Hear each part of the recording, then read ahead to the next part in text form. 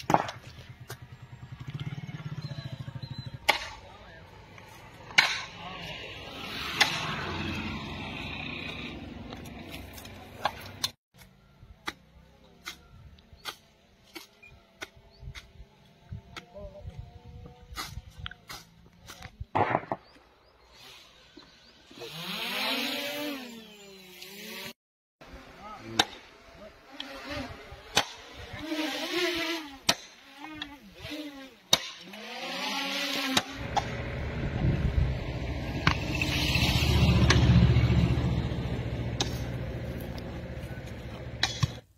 मेरा नाम अनुराधा है, मैं सामो की सरपंच हूँ। ये मेरा गाँव कचरियाल है। यहाँ पर इंडियन आर्मी और गवर्नमेंट दोनों ही जल संरक्षण सरोवर का काम इन्होंने स्टार्ट किया हुआ है, जो हमारा, हम जिसे तालाब भी कहते हैं। तालाब हमारा पहले जो था, जंगल झाड़ बन चुका था।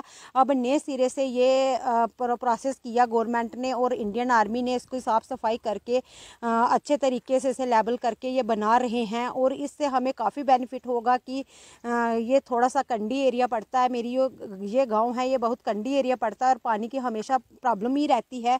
तो और जब ये तैयार हो जाएगा तो कुछ पानी की कमी जो है लोगों को ख़त्म हो जाएगी। जैसे गर्मियों का मौसम आ रहा है तो पानी हमें पीने के लिए भी चाहिए, नहाने धोने के लिए भी चाहिए।